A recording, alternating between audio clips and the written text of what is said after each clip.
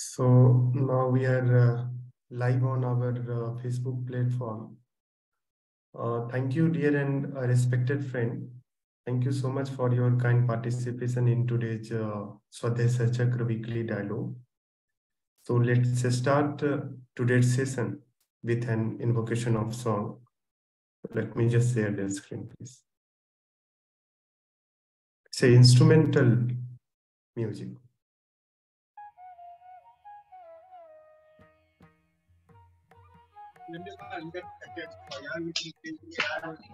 அடிக்க போய் அப்படி பண்றான் நீ அந்த மாதிரி வளர்க்க தண்ணி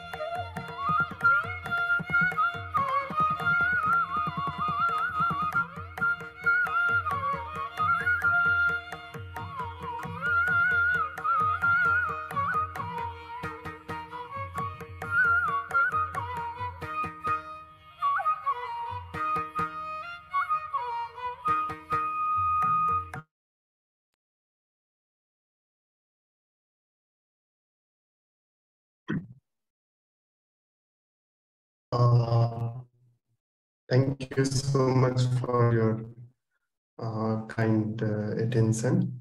Uh, dear and respected friend, uh, first of all, I, Randhir Kumar Gautam, on behalf of Vishwaneedam Center for Asian Blossoming, welcome you to attend today's Swadhyay Chakra weekly dialogue.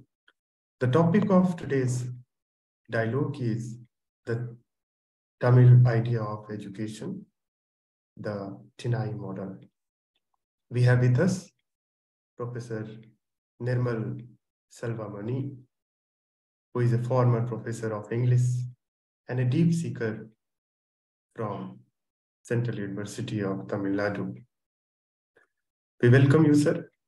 We welcome Professor Ananta Kumar Giri from Madras Institute of Development Studies as a moderator of today's session.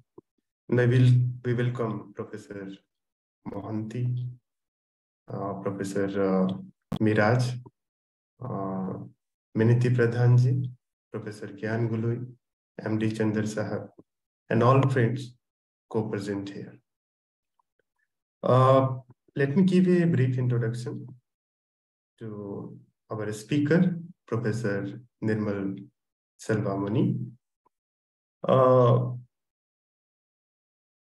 for our circle, is well known. He always uh, helps us with his deep understanding of literature, music, and philosophy.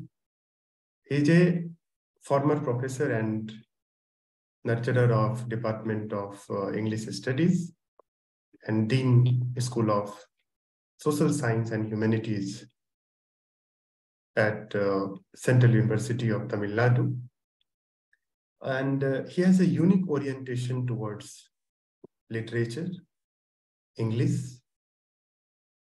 He's a good teacher and uh, he's a good writer. He has published more than nine books and more than uh, 50 books, chapters, and uh, many journals, articles. Uh, uh, he has conceived a unique kind of idea called uh. And uh, he's working in this, uh, uh, particularly in this uh, idea of Tinai from 1980. In fact, he launched the first discussion group in the early 1980s and he called Tinai movement. Uh, he also introduced a, an ecocentrism course in uh, eco-criticism course in India and uh, founded a forum named Tinai. Uh, he also promoted uh, the theory of new Tinai voices, uh, revived the philosophy of Tinai society, which um, had been in a state of limbo uh, for more than 8,000 years. And uh, he has also deep interest in music. And uh, he has developed a new area of study called uh, Tinai uh, musicology. And uh, he has scripted and directed plays and also played uh, guitar in professional bands. So Today, uh, we will understand his um, uh, idea of Tinai. And um, uh, uh, our circle called uh, uh, which is a circle of co-learning and mutual studies, which is a part of Vishwaneedam Center for Asian Blossoming Trust. And we we organize event online discussion in every Sunday or sometimes on uh, Wednesday also. Uh, the study seekers such as Sri Aurobindo, Mahatma Gandhi, Chittaranjan Das, a creative soul from Orissa, and many others from around the world. Uh, we also present our own writings and reflect our creativity together. Uh, we also invite seekers from different fields of life uh, to share their knowledge, uh, visions, sadhana and a struggle for creating a world of beauty, dignity, and dialogue. Uh, so first, I would like to invite uh, Ananta Bhai uh, to give a kind of brief introduction of the theme, and then we'll invite uh, respected Professor Nirmal Salvaman. Yes, Ananta Bhai. So thank you, dear Randhir, and thank you, um, Nirmal, and all friends so it is a joy to be with Professor Nirmal Selvamony and to learn about the Tinai idea of education. And as Tinai is a multidimensional way of being with our different topographies, different layers of existence. So that is so central to education. Education is uh, rooted to the roots where we are at the same time, it crisscrosses with many routes. So our idea of being human, our idea of belonging to our mother earth is with the Tinai, the soil that we are born together with. And all over the world, there is this creative regeneration of soil-based education. And Tagore, and as uh, today I am with you from near Santiniketan, and as Santiniketan was established as an ashram in 1901, and that significance of this place, when Tagore had come from here to Kolkata, and uh, he felt the the power of the place, a kind of energy which drew him. So that is the idea of you know the significance of a place. And also in this education, we would uh, hear from Professor Selvamony about the idea of logic and the Tamil idea of logic as it in Tolkappiyam, because these different ways of reasoning is very important. And uh, education must also prepare us for different ways of reasoning. So with joy, we look forward to be nurtured by Professor Selvamony today. And as I am on the road, so I would listen to all of you. And after Professor Selvamony, I request Randhir to kindly nurture the discussion. Thank you. Yes. Yes, Professor Nirmal Selvamony, over to you. Thank you very much.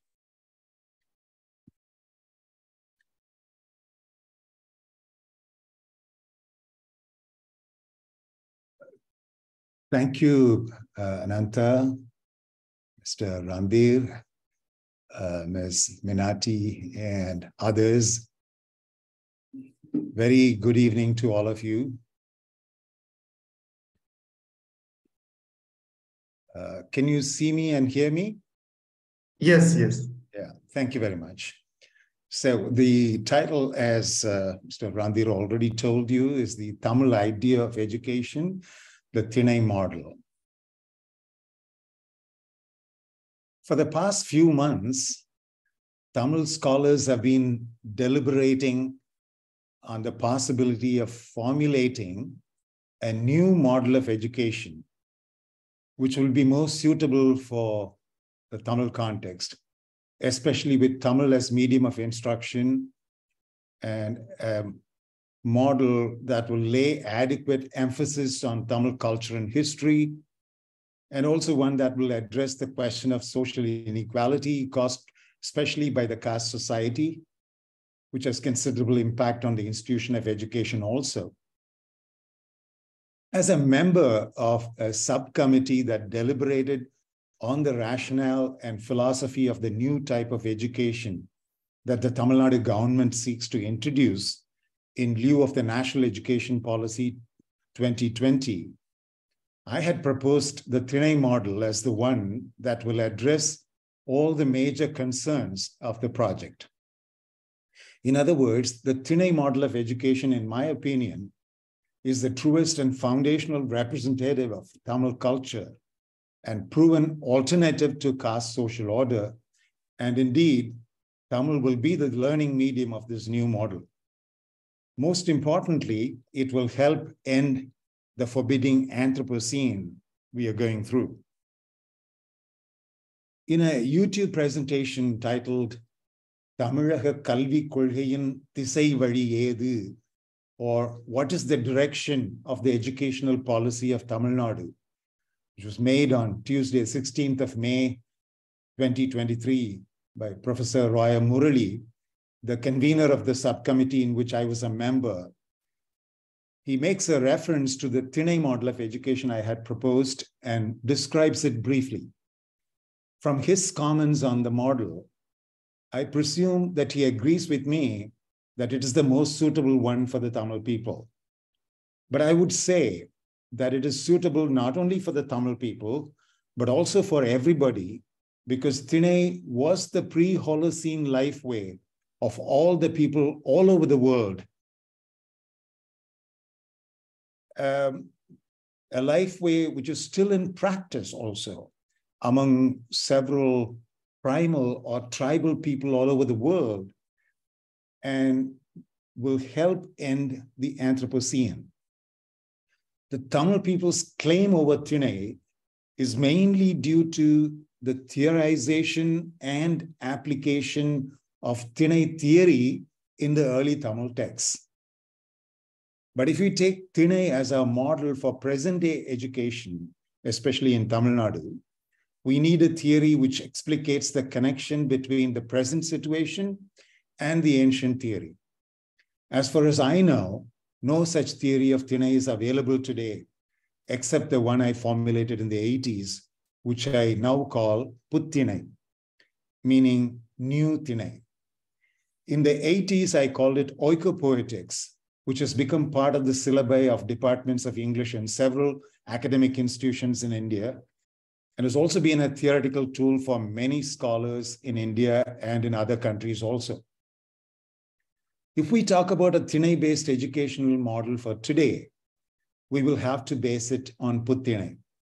But tonight, I will focus only on education in pre-state Tinai and not on what type of education can be derived from that model. My engagement with the Tinai model of education is traceable to what I might call the quest for indigeneity, not just in Tamil texts like Tolkappiyam, but also in my own personal life, a quest which began some 50 years ago.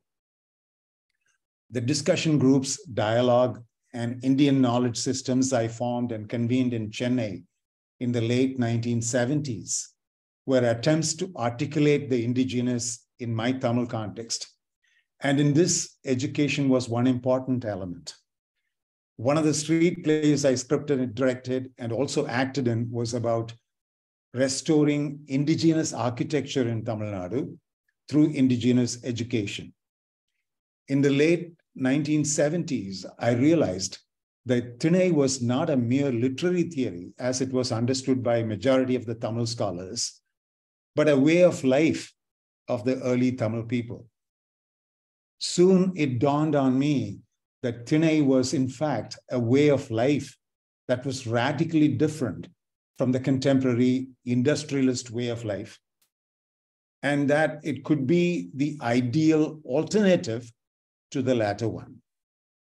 With this conviction, I convened a discussion group called Tinai which met in various places in Chennai from 1980 onwards, which uh, Mr. Randhir, you know, made a reference to in the beginning.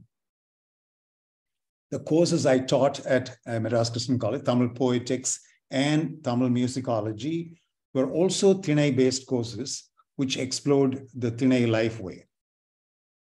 Yet another attempt I made in this direction was the writing of a paper to show how the 363 acre scrubland campus of Madras Christian College itself could be the text for students. This was followed by another paper in 1983, in which I argued that the educated person in the Tamil imagination was a sandron or a noble person. And in another paper of 1989, I tried to show how education was environmental in its orientation. Today, I would not qualify education with the adjective environmental because now I know better. I know that the concept of environment is problematic, which I did not know then. My chapter on Tinai as an alternative life way was part of the textbook on value education, which came out in 1990. As this textbook was used by several colleges in the country, the idea of Tinai as an alternative life way traveled widely, I think. This textbook not only made Tinai a part of Indian value education, but also showed why Tinai, an ideal indigenous life way, should not be ignored by Indian education. In 1991, I brought out a paper on value education because I was convening that program in Madras Christian College from the perspective of the Tamil Tinai people. And in 1993, Another one on an educational model, which I proposed as an alternative to the contemporary model of the industrialist society. And I called that model uh, eco-regional education, using the term eco-region as a synonym of Tinai. Over the years, Tinai has caught the imagination of the people, not only in Tamil Nadu and in some other states in this country, but also in other countries as well. But how is Tinai understood by scholars? Most commonly, as I said earlier, it's only a literary theory, especially to Tamil teachers and scholars in the departments of Tamil in the academic institutions. But to the historians and Marxists, it is a thing of the past. In fact, nobody I had known until the 1980s understood Tinai as a life way, especially as an alternative to the contemporary industrialist life way. Today, Tinai has become a movement, and those who promote this movement are engaged with one feature of Tinai or another, but not with Tinai as a whole, as an alternative life way. Therefore, the movement, which I call Tinai, is in its infancy, and only when Tinai life way becomes its core will the movement mature.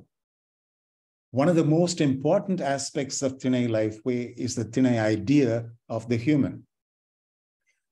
Today, we are quite comfortable with the idea that the human is a psychosomatic individual, body mind complex, if you like, ontologically separate from the world, especially by virtue of the faculty of reason.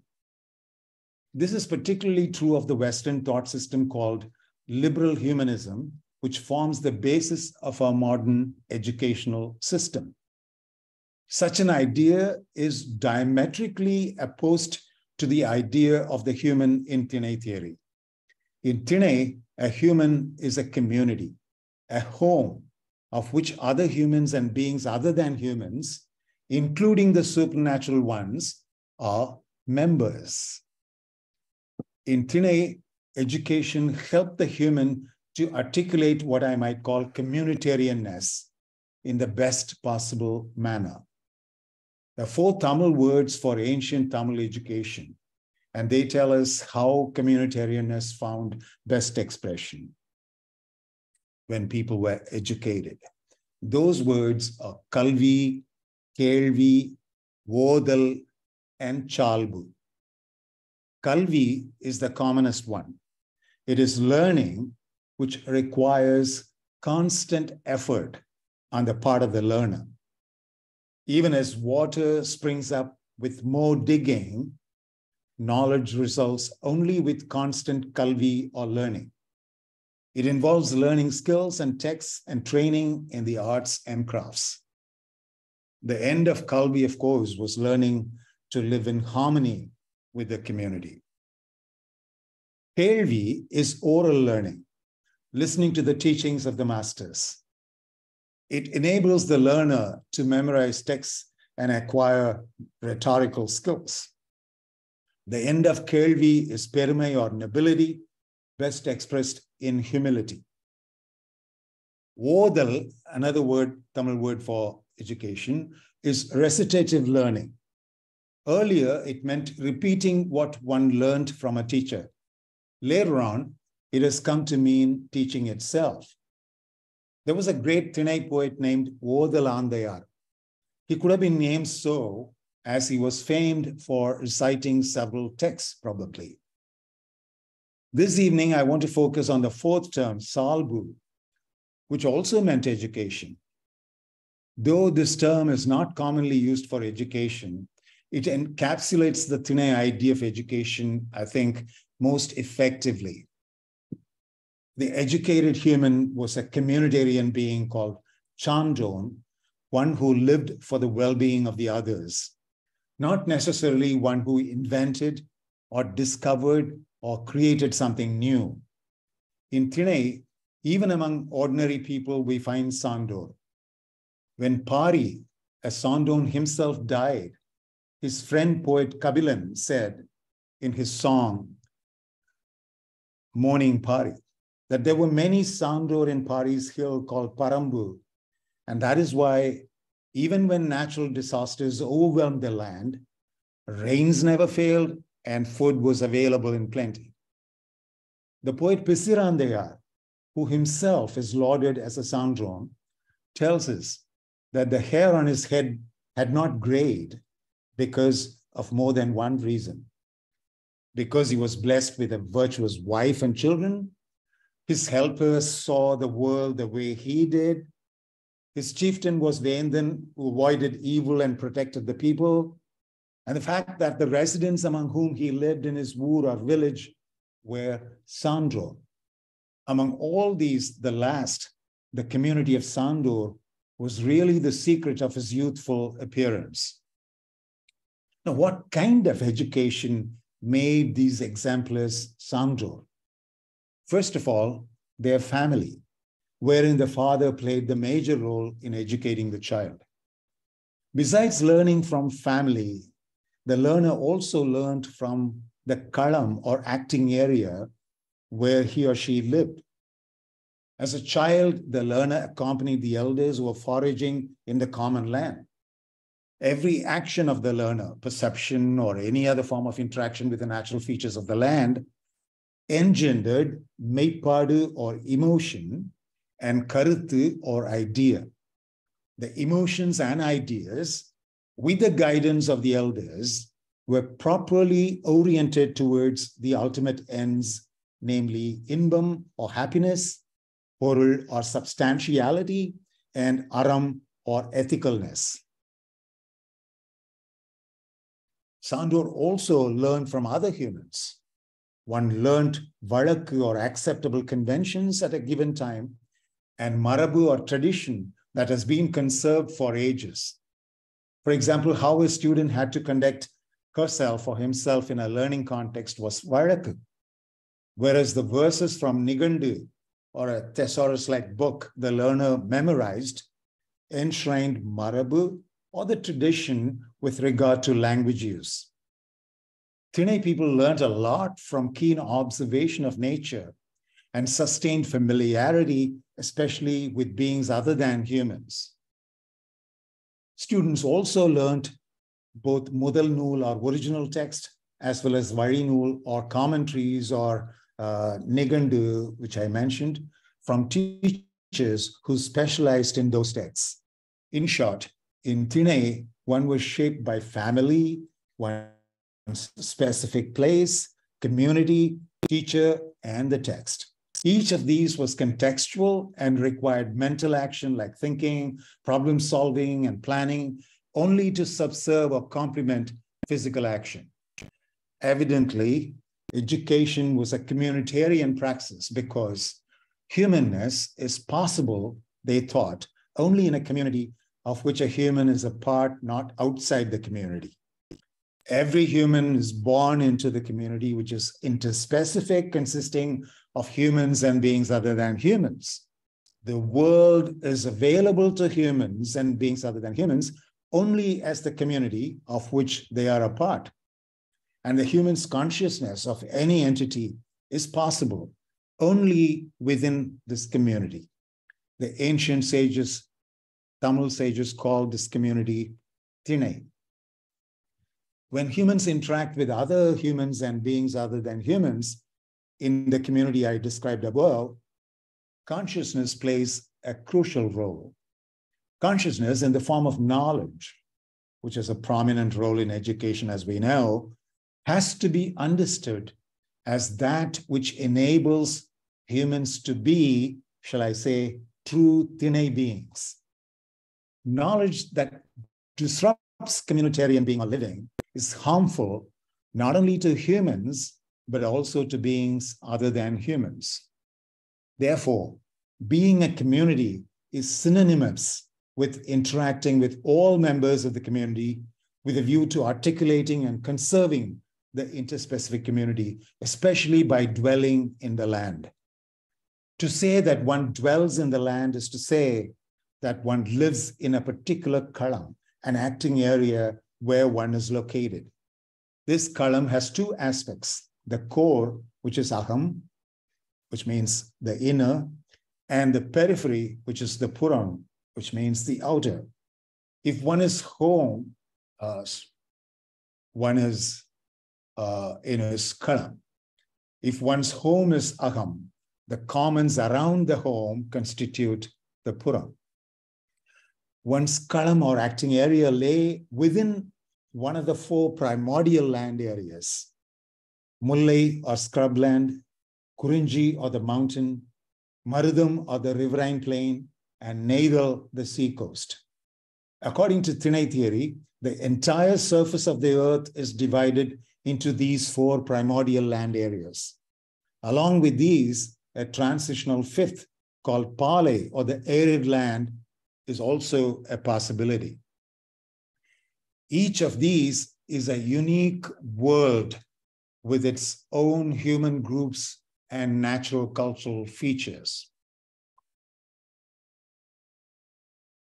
For example, the Western Ghats is an example of Kurinji Tinai, in which there are several Tinai communities like those of Mudugar, Kothar, Kurumbar, Toduvar, Irular, Kani, and several others.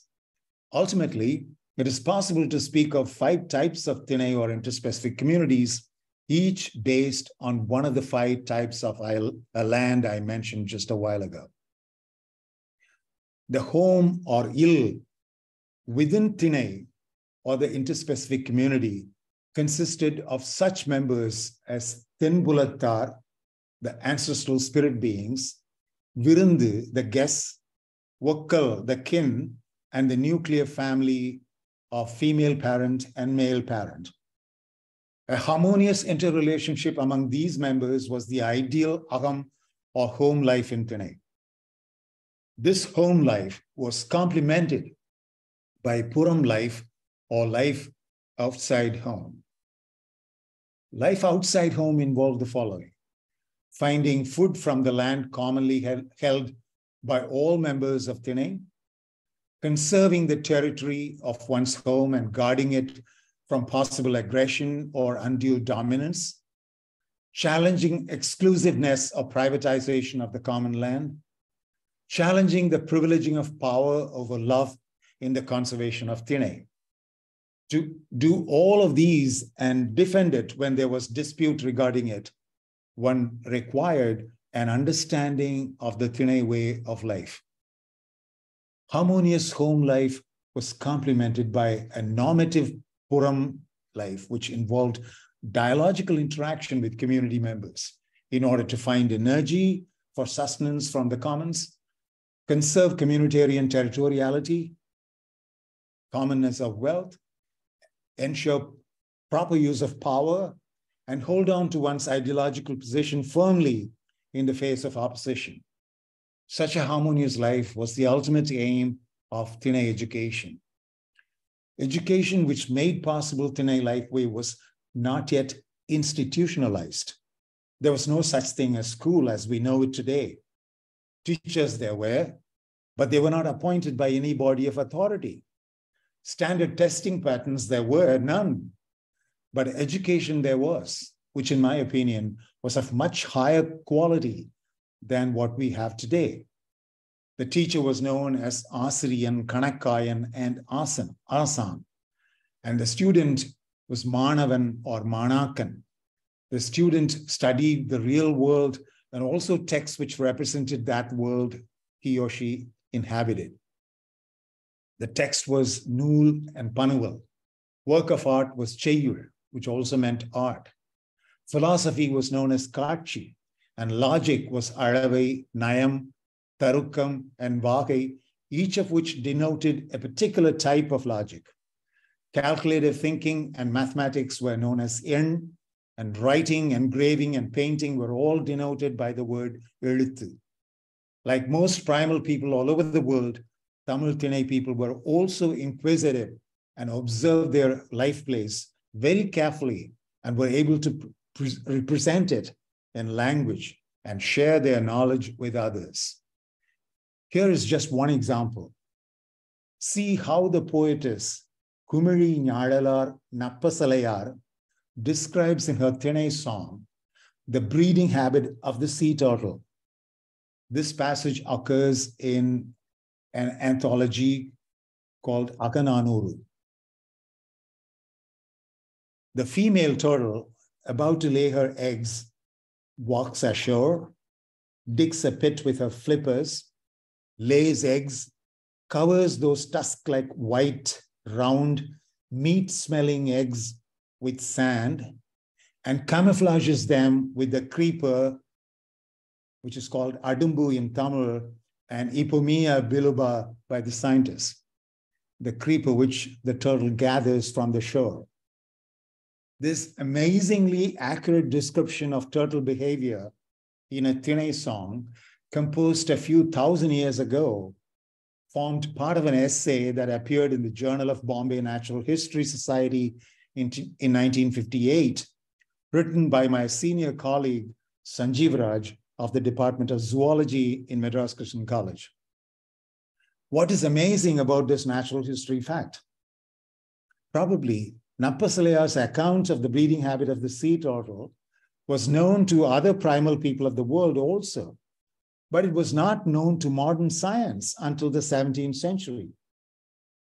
Further, no modern scientist had known which plant material was used by the turtle to hide her eggs.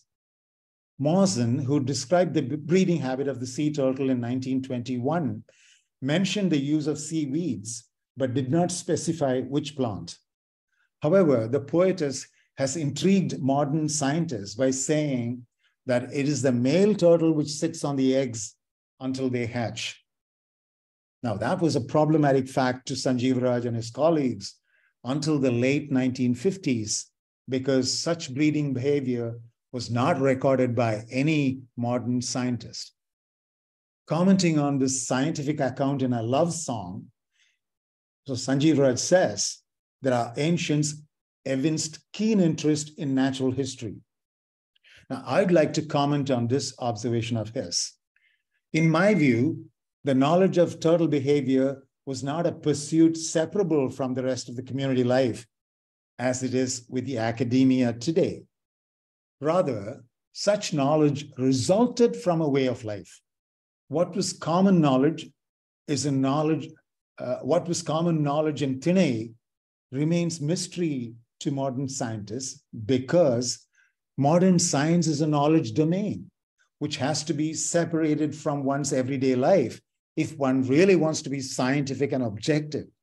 Whereas Tinai is a life way. Nappasalayar is a Tinai poetess who teaches us not only keen observation of nature, but also proper living. She shows how the family ought to collaborate to raise the family and enjoy togetherness. This involves a certain amount of suffering and pain also. The turtle parents are separated temporarily, and it is hard for the family but they unite once the babies are ready to take to the ocean.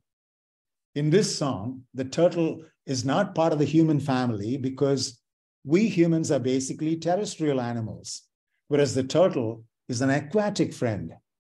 The turtles on the sea coast is part of the Kalam or living area of the Neithal or coastal Tinai people. Therefore, the Neithal Tinai people would have looked upon turtles as their friends or guests rather than as family. The harmonious interaction of humans and turtles in their kalam is the heart of the matter, which I have named the Tinai way of life. The particular song I brought to your attention speaks of the kinship, particularly familial relationship among turtles, father turtle, mother turtle, and baby turtle. It also speaks of the relation between human lovers and compares the love relation between human lovers and a turtle family. It gives us insight into not only the home life of the animal, but also into how the animals make use of their puram or the common land in order to subsist and nurture the family. The friend like relationship between the speaker and the turtle is both meta rational and rational. The Tamil word vombum used in the song, which means will care for, shows two things how the male turtle takes care of the eggs, and how the speaker of the song has felt the feeling of the turtle in a meta rational way.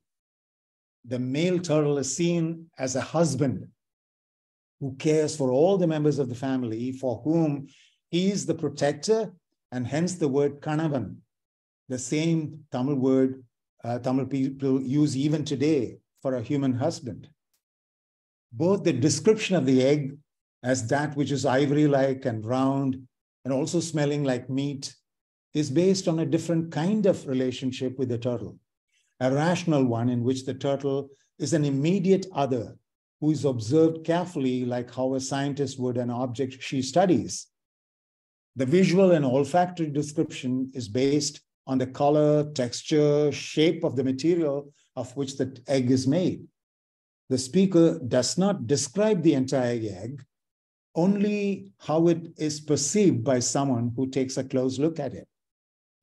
I do not want you to miss the fact that the speaker is able to see the turtle and other an addressee in her own kalam, both meta rationally and rationally.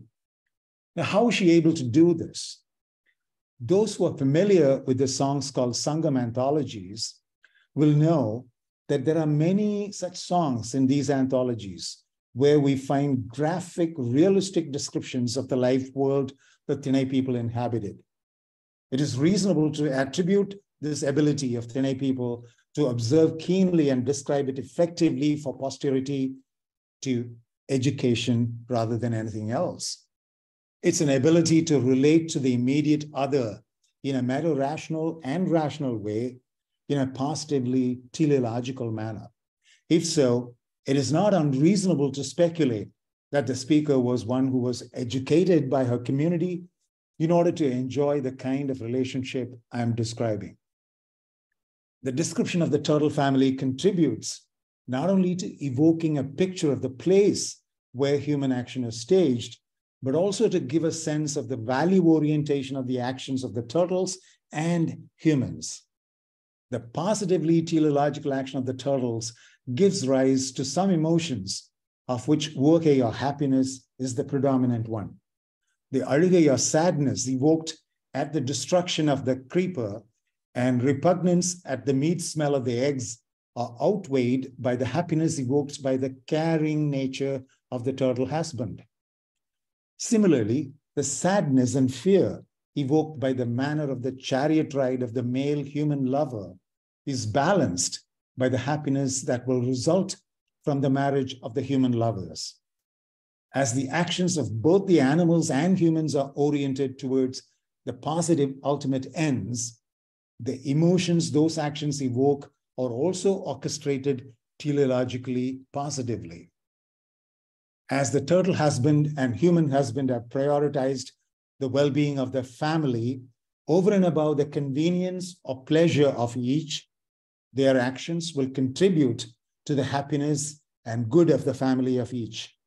Such value orientation on the part of the agents, animal and human, is based on their intimate knowledge of their small world I have called Kalam. When one is deeply interested in the well being of the other in one's praxic life stage, one is likely to be observant and be sensitive to the needs of the other. Tinai poets remind us of the fact that if emphasis is laid on living properly, knowledge would automatically ensue from such life way based on the three ultimate values based on love happiness, substantiality, and ethicalness. As these are ultimate values, they are neither achievable by rational means nor reducible to experience despite being experienceable like economy, governance, art, and other domains in Tinai, education was also oriented toward the ultimate values.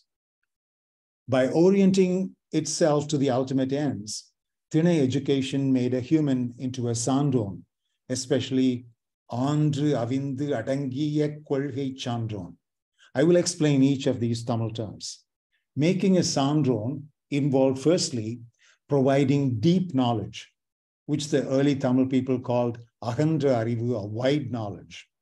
Though the Tamil phrase Ahandra Arivu suggests wide, width, or breadth, it should not, I think, exclude depth also.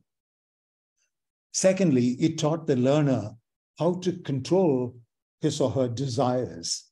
The Tamil word is avidal, which literally means cooking something by boiling it. Cooking suggests the perception of the world is raw because it could give rise to all kinds of feelings and thoughts, both good and bad. Therefore, perception has to be cooked, it has to be reined in by the ultimate ends. Thirdly, making of a sandron involves teaching the learner humility, which is indicated by the Tamil word adangadal. A truly educated person is humble, humbled by whatever embodies the ultimate ends, inbam, or happiness, uh, by the highest values such as love and ethicalness.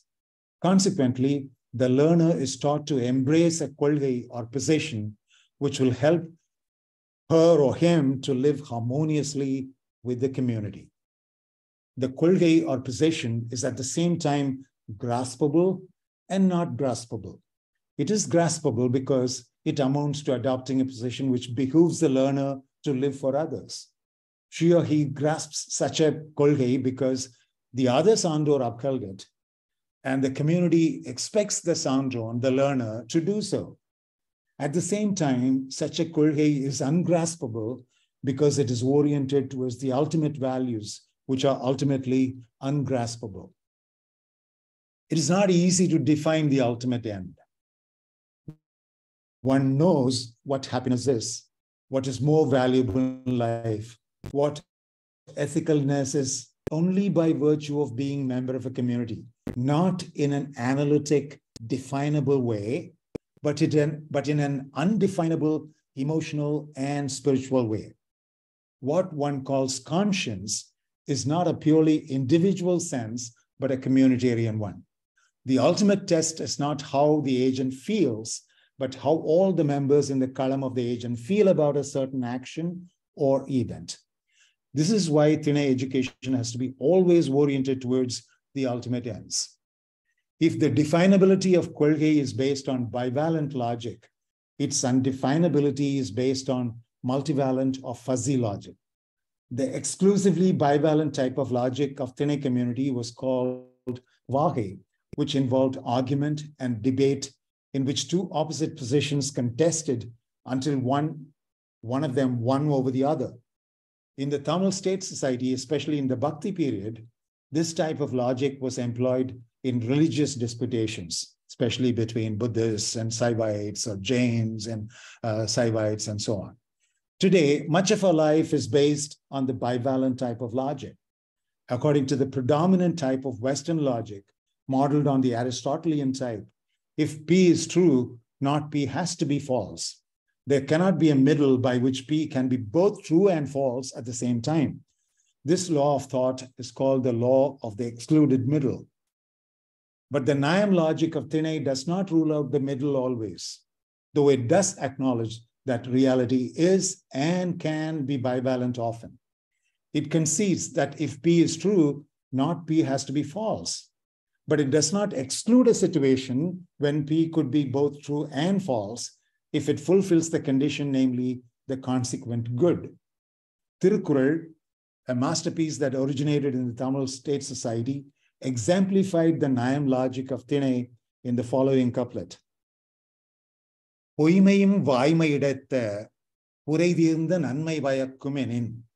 This is couplet 291. If I could translate it, I would do so. If the end is faultless good, falsehood will also be assigned the place of truth.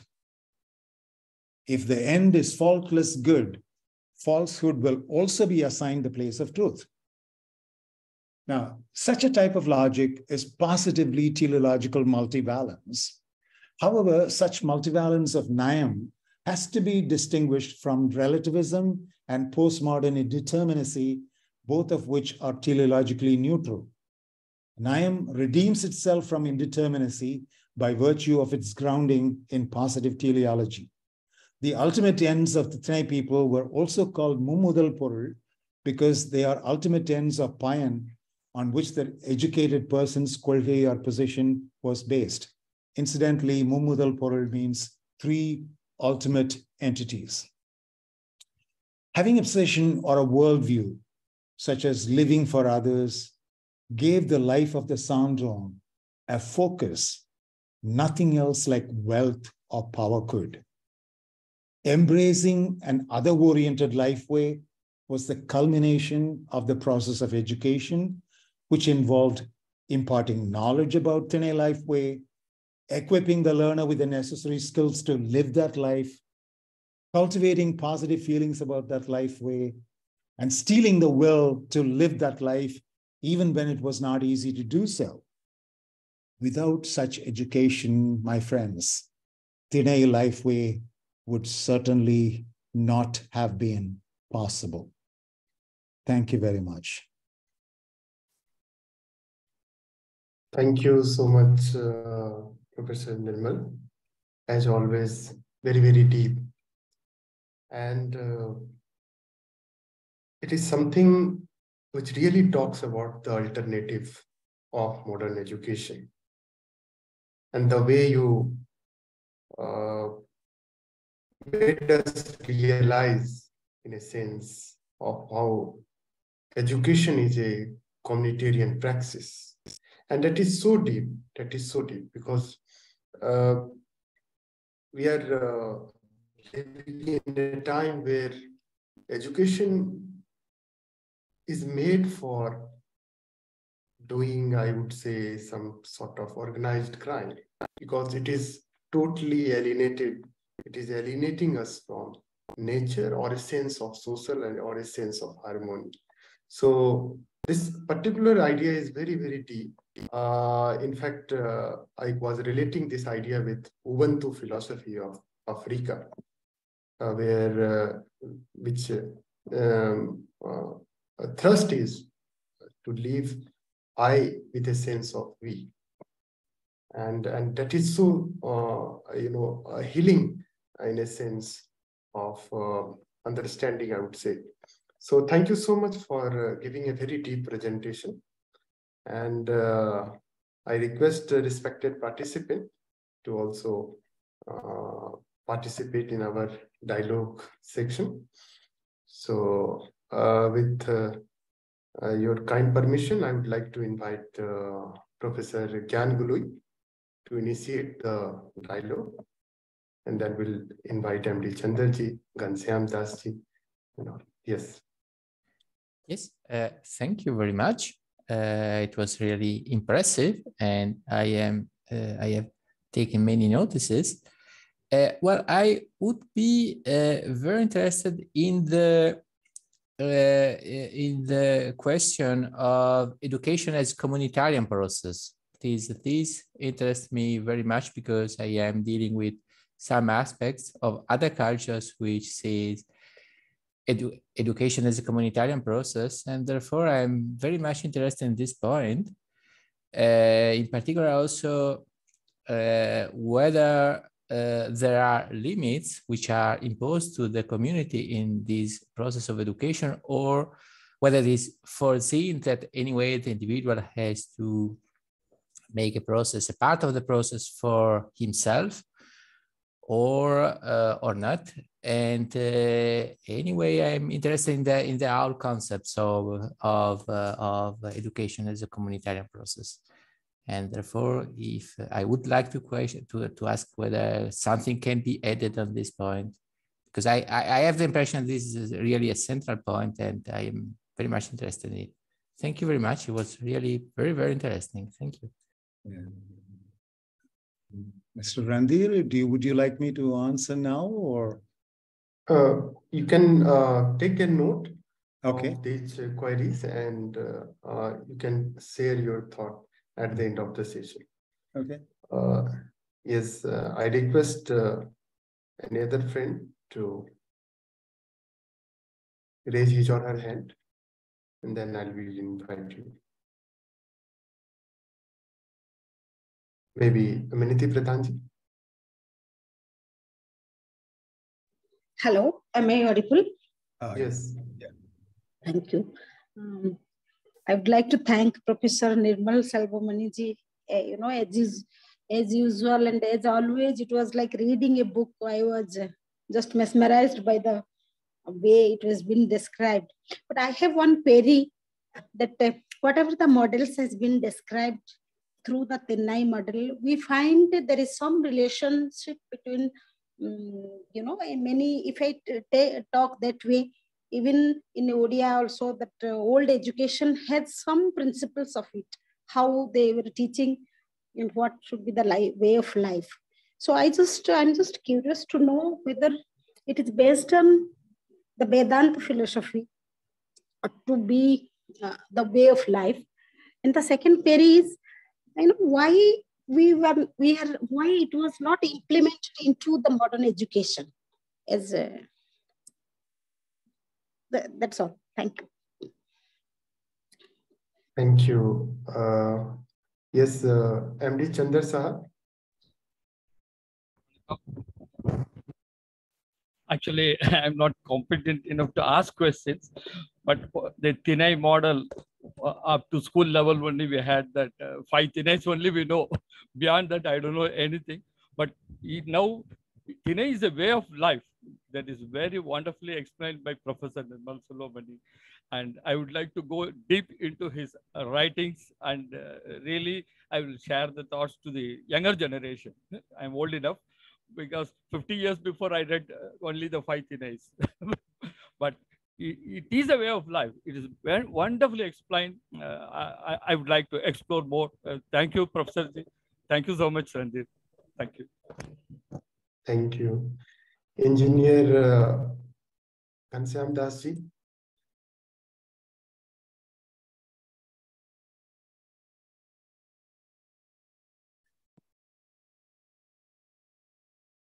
Uh, he's taking some time, maybe any other friend would, would like to ask any question, please.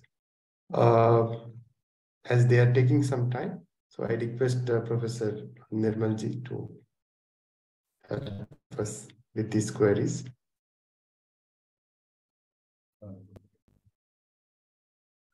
Um, did you say Nirmal? I mean, yes, yes. Okay. Uh, Thank you. Yeah.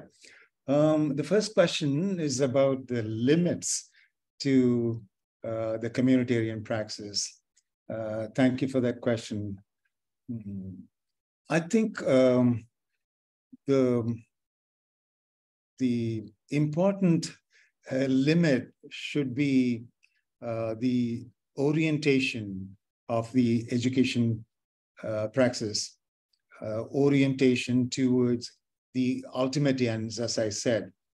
So that I think sets the boundary uh, limits to this education. As long as you know education um, is oriented towards these ultimate ends, which in turn are based on love, I think um, that is the uh, limit of that education.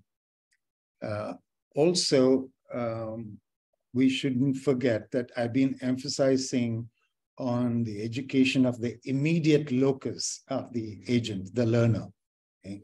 So everything that you, I mean, want to learn everything that's worth learning, I think TINAI people believed could be learned from the locus one is placed in, one you know is located in. So uh, I don't know whether that answers your question. Um, the second question about implications for uh, modern education. Um, I don't know, like this, uh, what I'm talking about, I, mean, uh, I made it clear, I think, that I'm only talking about how education was in the pre-state, uh, you know, times, uh, the, you know, in the ancient uh, Tamil world. I'm really not talking about an educational model which can be derived from that. That will be a very interesting topic. Of course, I'm interested in that too. So, um, but anyway, um, the model that I was describing is also somewhat similar to you know what we might call environmental education or what some people call place-based education today. You know, these are types of education which people experiment with, mostly, you know, in the Western world. I think in a very small way, they are experimenting in India too.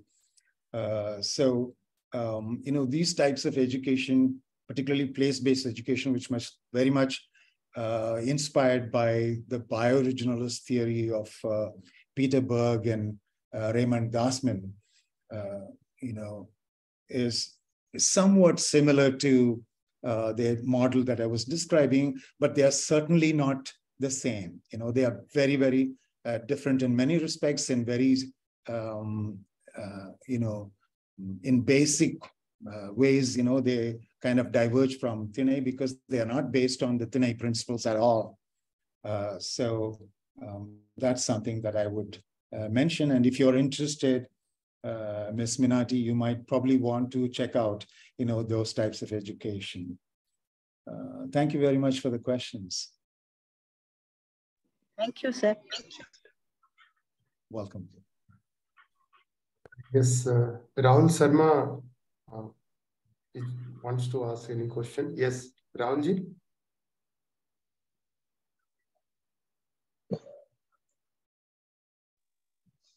No, sir. Okay, thank you.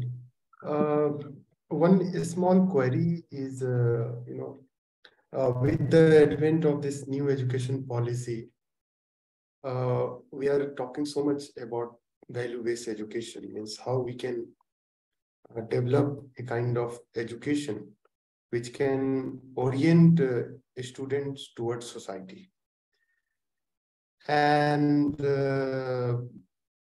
but the challenge that we are facing, you know, since education is a part of uh, society's uh, intellectual infrastructure, but the market-based education, which uh, tries to force a student to be alienated, to live life with a uh, sense of individual, not with society. So, uh, because uh, you know uh, some uh, you are talking about a model of education of a society which is pre-modern in nature. Mm-hmm. So transition from modern to pre-modern, how we can develop that orientation. You know, in that sense, we have to challenge the whole uh, capitalist uh, apparatus in that sense to live with uh, need, not with greed. So how with that concept idea, you know, how we can develop or mold our education in that dimension, which can also challenge the market value. You know, we are seeing the quest of environmental movement. We are seeing the quest of biodiversity. We can seeing the quest of sustainable development. But it is very difficult to challenge the whole orientation of our education towards that society. So how will you, uh, you know, whether that quest, you know, because we can see this uh, orientation towards cultural revitalization. But this idea is very, very, you know, uh, important. Whether we can, you can see that uh, uh, in future, whether you can see that change of orientation of education in that sense. Um, thank you, Mr. Randhir. Um, I just want to repeat what I said a while ago. My talk was about the kind of education that prevailed in Tinai. I was not talking about an educational model for today. But um, if we want to talk about, I mean, your question really is about, I think, a, a model for today, or how the model that I was describing could kind of work today. Okay? Now, um, uh, that was not really part of my talk today, but since you asked this question, I would probably, you know, uh, think along those lines. Um, as I hinted at in my presentation, we somehow want to end this Anthropocene. Okay. If you're with me on that, then we need an education which will either contribute to the ending of it or which will be a part of the post-Anthropocene world. You know, that's the kind of education we need to be talking about. Now, uh, we don't want a, an educational model which will cater to the industrialist life way. The whole point is, is to end it and usher in a new era. That is what I've been talking about the past 40 odd years. Uh, so, um, you know, we are we are reimagining a world. Uh, we are, you know, um, so that world will have to, you know, have a different kind of economy, different kind of polity, different kind of uh, um, education also. So if uh, that new world is an impossibility, the new kind of education that you know we are dreaming of will also be an impossibility. But I hope, like me, you don't want to think that these are impossibilities. We want to think that they are possible and we need to work towards them, I think. That is Thank so which with which I was, you know, making this presentation. Thank you very much. Thank you so much. So I request uh, Minati Pradhan ji. Thank you very much. Yeah. Hello. There is some noise. Yes, Uh, what did I, I couldn't hear actually. Could you repeat repeat it, please? Uh, did you ask me to give the vote of thanks? Ah, yes, yes, offer vote of thanks. Okay. Thank you.